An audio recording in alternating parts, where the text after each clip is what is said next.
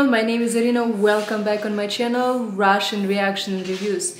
Thank you so much for being so supportive. You are amazing and I'm always saying I have the best subscribers. Today we're gonna watch and discuss such an interesting and kind of dangerous topic because not a lot of people gonna be supportive about it.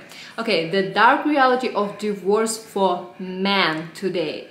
We we was talking about it a couple times I would say and now it's the whole video and I'm like yes let's go into it. Let's do it together. It's a wonderful next step in life. But in reality for millions of men it will be the worst mistake they ever made.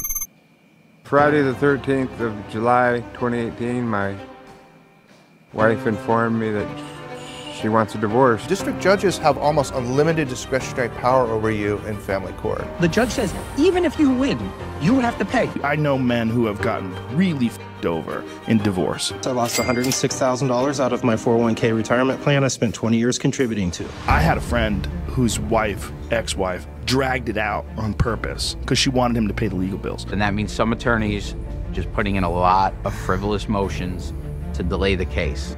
We took out an equity line of credit at my parents' house, and that's been maxed out now. Uh, I think it's $250,000. I also lost half the equity in the home, stocks, bonds, mutual funds, cash, and savings that I also spent 20 years contributing to. Look at all those men. Every time I'm hear the story, it's literally sadness in their eyes. But you're never gonna hear from the woman, they're like, oh, we got divorced from this situation, right? We're talking just about the situation when the woman is trying to take to take advantage.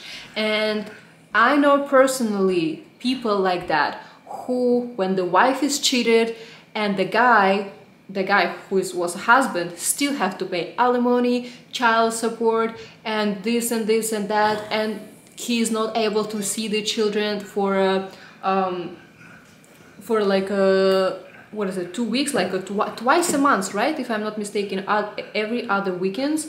So it's literally the husband who did nothing still have to pay all this money and to do not see the children. It's crazy to me. I don't want this. I don't want to be divorced. And this is the only time in my life where i legit felt like a failure. So he had to pay for her lawyer he had to pay for his lawyer and then he had to pay for all of the times that she decided to change the goalposts. I'm now broke, live in a two bedroom apartment, and have a negative net worth. And I ended up going through bankruptcy. What they do is bleed you until all the money is gone. Be careful because the consequences can be severe. One of the biggest problems. Sorry, and the one more moment which is ridiculous to me, and I never seen. I never seen something like that when I lived back in Russia, but maybe just because of my age, because I came into America when I was 22, so it's like um, I didn't hear much stories uh, about divorce, uh, not working out relationship. But the craziest part in America, I see a lot when the women, after let's say they cheated, they got divorced, and they're saying, oh, I would never use children against you they are literally accusing the father of the children in the sexual harassment. What? That's for me is the worst part. In family court, is there are so many false accusations. There's attorneys that will, every single case, oh, he's abusive and controlling, we need a protective order. In fact, there is no violence, but they make it up. If you really do a good job, then you can get him kicked out. Now you're in the house. Of all my friends who've gotten a divorce, 80% of them, if they have kids, the wife accuses the husband of the kids. Oh. 80%. This just might. 80%. I literally, I just told you about it and I was like, wait a second. Because it's true. How many people do you actually know who was accused in something like that? And you don't need any proof. You don't need any proof. So guys, I love you so much. Please be careful please be careful. I'm warning you to be careful in your relationship. And the prenup is not working anymore. Like you can have the biggest prenup in the world, the uh, the law is still gonna be on the women's side. So I, I don't know what to. I I personally I don't have a solution. Don't get married. be my most important video to date since this video is really a serious warning and to inform every single man out there who is still contemplating a legal marriage of what you're actually getting yourself into since there's a lot more to it than just losing half your assets and that prenups will save you. You go get a prenup and you think everything's great. Well, you better make sure you know exactly what you're doing because the big game now is who can bust. I swear I didn't watch this video, but it's so common that's literally everything I'm talking about is actually in the video, and that's not funny at all. the prenup. By the way, if you missed that last part of the intro, he was not talking about being accused of hitting the kids. No, he was using the M word, as in accusing the father of your children of being a P word. Now that is next level evilness in order for her to get the house, the kids, and a fat alimony check every single month. One alimony tip can end up paying you hundreds of thousands of more dollars. But I do have good news since there is a utopian solution, albeit somewhat unorthodox, that can actually protect you from a world of pain, which I will share with you later on in the video. Now before we continue, it's important... That's personally I, I want to know because I have no idea how to um, not like a help my friend but you know but I just don't know what to say if like any man gonna come by and say hey I'm ready to marry this girl like what do you think I should do you know? I, I don't know. I'm, I'm so curious myself. To note here that I'm actually not a hater of marriage itself. I was actually raised Catholic and I still think that a sincere marriage before God can actually be a beautiful thing However, I also studied aerospace engineering, and that sort of messes up the whole Catholic thing, as in blindly believing something or jumping into something when the overwhelming data is telling you to run like hell. I just can't get with our system making men, and I say men again because it's majority, being penalized from keeping a home or buying a new home because they are paying for their exes to live in the home that they had or to pay for a new home that the ex had. You got $1,700 after you made, what, like $30 million on that tour. What the hell happened to the money? It's called a divorce. A lot of people go into debt as a result of their divorces. Courts are biased against men receiving alimony. It's just I heard recently one thing uh, tell me if it's true or not, or what do you think about it. The richest woman in the world, she's actually divorced and living out of alimony. I was I was thinking it's like it's hilarious. It's the truth. In Florida, the court can order the payor spouse of alimony to obtain a life insurance policy to secure his or her alimony obligation. Wait, what? So not only are you paying alimony and child support, now you're ordered to go and get life insurance on yourself, also that your ex can get paid when you die? This is absolutely insane, and it shows yet again how every single thing in the divorce process is incentivizing women to get a divorce. Please explain to me the benefits of marriage today it's only because of religion, to be honest. It's a promise to God. Yeah. Does a man benefit from that? Yes, he does. If he is religious, if he's spiritual, whatever it is, it's that promise. I think apart from that, it literally is just a business contract with the state. It's basically saying if anything happens to this relationship, you're going to need us. It's a contract with the state. It affords you married couple benefits and privileges, but I don't even know what those are anymore. You see, marriage is simply yeah. no longer what it used to be, and if you're still playing by the old school rules in this new school world, you're going to lose, and you're going to lose hard. Get the alimony. Listen, get the alimony. Basic mechanism. That's why society is fucked up. Because all these women uh, who got divorced and right now they're encouraging other women kind of like to get divorced uh, and be happy living out of his money. I just do not understand the concept. That exist in the criminal and civil courts in this country don't exist in the family court. Why drag it out for two years? Why? So the two lawyers could keep making money, that's why. New York divorce industry, that's billions of dollars. I said to the litigants, I want you to know, after two hours, we will have spent more than most people in this courthouse make in a year. Yup, that's what you're up against. Please drop a like on the video if you think that legal marriage today has zero benefits for men with maximum risk and comment down below what you think. Now some of you, just like me at some point, might still think that getting a prenup will protect you and save you from all of this Yeah, madness. The prenup can be broken or declared invalid if the alimony provisions are set up too harshly, which means that even if you have a prenup, in many cases you will still have to pay something to your ex, especially if they are broke or struggling financially. That's also the thing. If the wife didn't work for some reason or she doesn't want to work after getting divorced, it's like they're gonna look at you, oh, you're making $100,000 a year and your wife is making $30,000 a year. Why wouldn't you pay her even more because she's considered broke right now? Ugh. Mistake number one, having a very uneven contract. Uh, the contract must protect both sides, and if it's only on one side where you're seeing all the protections, it might invalidate the prenuptial agreement. Each side must offer to the other something of value. You see, prenups are good in very specific cases, and most importantly, when there are no kids. Because as soon as you add kids to the mix, then your prenup won't do a damn thing against the mm. avalanche of sh- your ex can actually bring down on you. For starters, prenups are not allowed to dictate child support or custody. You can't dictate in your premarital agreement the amount of child support, and you can't dictate who will have the children. which can bring up a whole list of problems. In fact, depending on where you file for divorce, the whole prenup could even become null and void if you do specify this in the prenup, and since judges in family court have an insane amount of power, they can simply throw out the entire prenup based on one invalid provision. There is no law in family court. There's only there's only what the judge wants to do. It's for the judge to decide if the judge has weighed all the factors. The judge makes decisions for other people, and you make a hundred of those a day. And if you make a bad one, you just make another one. All judges have the same middle name God. Yep, that God statement is actually pretty accurate. However, breaking up the prenup is just a start, and things can get a lot worse than that.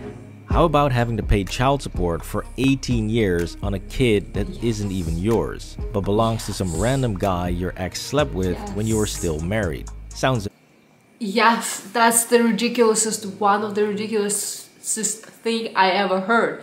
So when I start um, like talking, discussing like this topic with the different people, you know, who some people was married, some people wasn't. I'm just like was um, like usually taking opinions, you know, and situations and just like trying to figure out myself, collecting informations, right? So and when I heard something like, oh yeah, it's not actually my child, but I still have to pay, I'm like, what?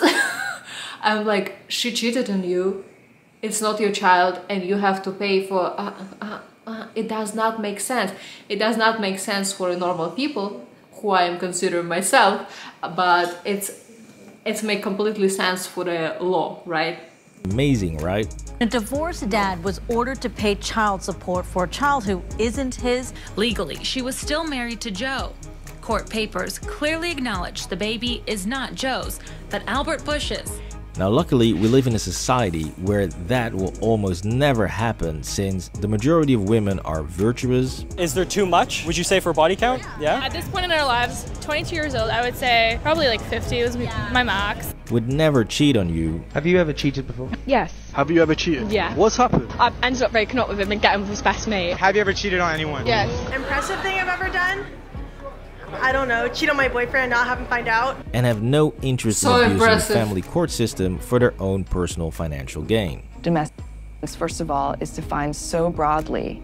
There's so many things that can count as domestic violence that it's not hard.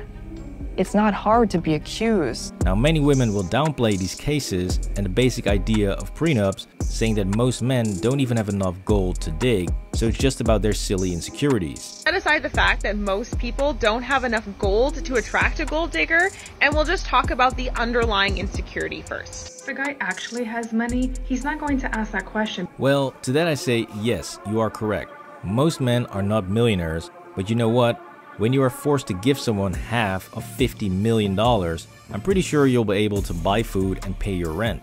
But if you make 50,000 like most people do, and now you have to support two households, then yes, you are completely f- Not to mention that divorce can also greatly affect your retirement plans, since retirement savings and 401ks can actually be added to the divorce pile, and divided up as well. Why? So yeah, it's very easy for women to make fun of men who are not millionaires for worrying about prenups and divorce, but the reality is, if you are not a millionaire, you are going to feel the pain of a divorce 10 times worse. Mm. Women can easily dismiss these concerns about marriage since these concerns almost never affect them, and even in cases where men should get awarded alimony, courts are still heavily biased against men. In the last 40 years, I have had four cases that I remember of men getting alimony. So in theory, he should be entitled to alimony. But in my 20 years of experience, that does not happen frequently.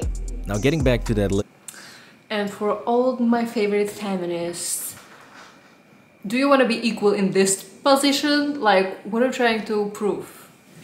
I hate some some women.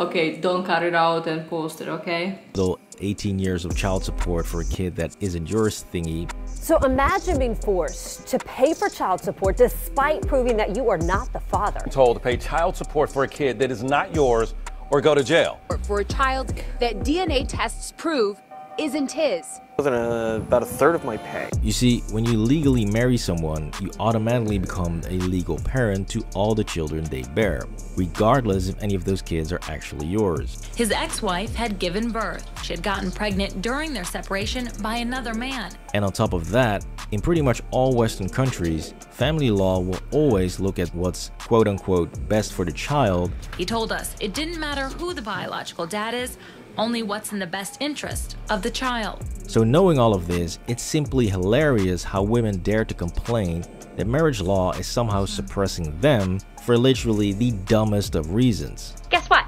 Weddings are sexist. Wedding traditions are deeply ingrained with misogyny, so let's rework a few, like dancing with a parent of a designated gender. What are some things you've noticed that are blatantly sexist but are so normalized. Oh, you're almost there. It's not just the whole, well, women are expected to change their last name. The amount of products that exist for women on their wedding day.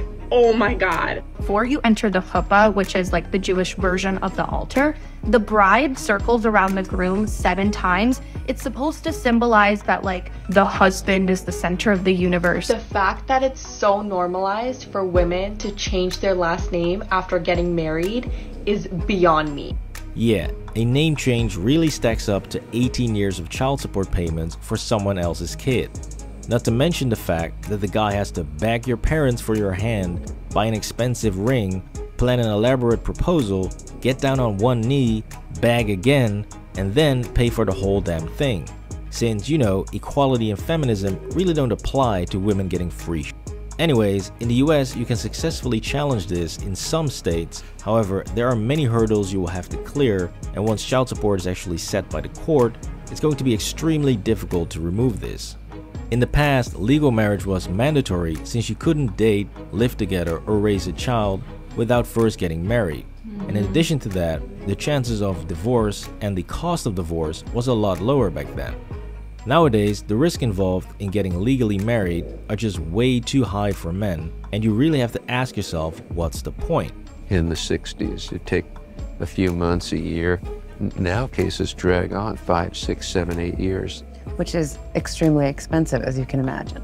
So by never getting legally married, you already eliminate half of your problems. However, if you want to have kids, you're still going to be exposed to a vicious ex that wants to drain you financially or simply take your kids away.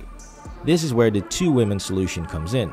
You see, by having kids with one woman from who you get full custody, and then by having a girlfriend who you live with, you can actually provide your children both a father and a mother in their lives while never having the risk of losing your kids or having to pay ridiculous child support or alimony payments.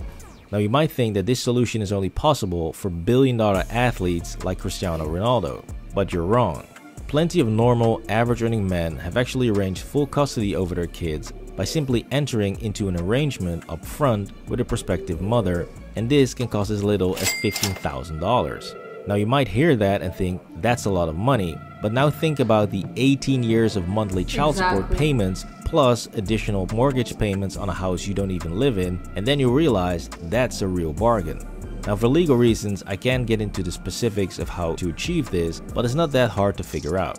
In addition to this, there are several official surrogacy options in both the US and Europe, And even though surrogacy in the United States can easily cost $150,000 or more, it might be easier and cheaper to just buy a plane ticket and opt for the European option at around $30 to $50,000. Now you might ask, how can I actually support these surrogacy and semi-surrogacy out-of-wedlock alternatives to traditional marriage with my Catholic upbringing? Well, in all honesty, I don't like them either. However, I'm just giving you the realistic risks in mm-hmm. society today with some realistic solutions to those problems. I would love to tell people, hey, just download a dating app, find a nice and caring person, get married without a prenup, then have beautiful babies together and live happily ever after. However, that's simply not the reality of the world we live in today. Because legal marriage No today more. has simply become the signing of a very complicated financial contract, which under normal circumstances, you would never sign without an accountant and a lawyer present. But somehow, when it comes to marriage, people just want you to sign and believe in true love. This was the dark reality of divorce. Please drop a like on the video and subscribe to the channel for more videos. Gorgeous. That was really really nice video. To me let me know if you ever thought about it or you planning to get married and I believe in love and I love love but I would never. Let's say I'm always if some people disagree with me in something I'm always saying let's say you have a child right? And it's your son or it's your daughter. It doesn't matter. It depends on the situation. So and would you recommend your son who is growing up son who is already like let's say 25 30 years old and do you want the best for him right? So and how would you want him to protect himself so that's i'm always saying because people needs to look at the situation differently when it's actually uh, something you really care about right? Like the husband the, like your future husband your fiance you look at him differently. You're not looking at him from the perspective it's someone's um say like it's it's it's also a man who um how to say if he would be your son you would want for him to be protected. And you wouldn't want for some girl who's like yes she is like his wife and family right? But you would never let your son be fucked over by some random woman right? Like yes we love each other like we are making families we like a couple right? But you still two different people who is not even rel how to say rel relative to each other right? So that's why be careful. All i want for you just to be careful. So i really appreciate you watching this video. Do not forget to subscribe my channel and thumbs up. I'll see you soon